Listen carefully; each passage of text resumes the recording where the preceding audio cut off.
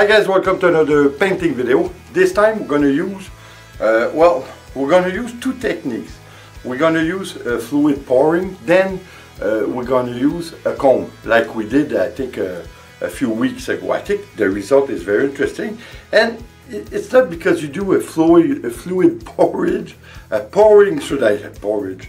Uh, it's not because you do a fluid pouring that you don't have to do some some kind of um, of details, uh, put more details in it.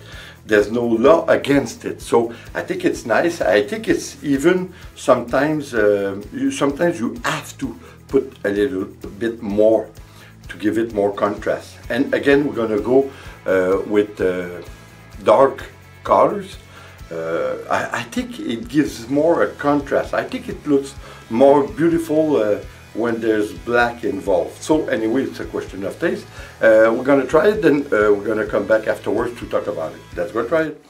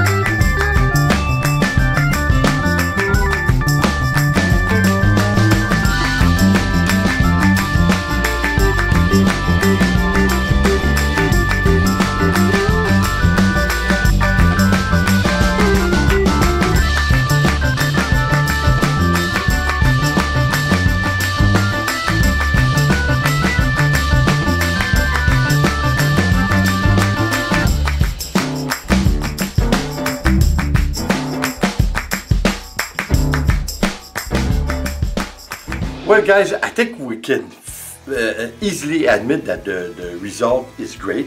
I think we have a nice result. Of course, the only thing is uh, it's always subjective, but I mean, this time the color can be a little bit more subjective or uh, not uh, to every taste. Of course, uh, it's always the same thing, but the thing is, like I said, I think that when we use darker color in fluid pouring, I think it gives us more deepness in the work. So again, it's a question of taste, and uh, uh, you, you know when you look at it, uh, to each his own. There's no two person alike that is gonna see the same result or are gonna appreciate it at the same level.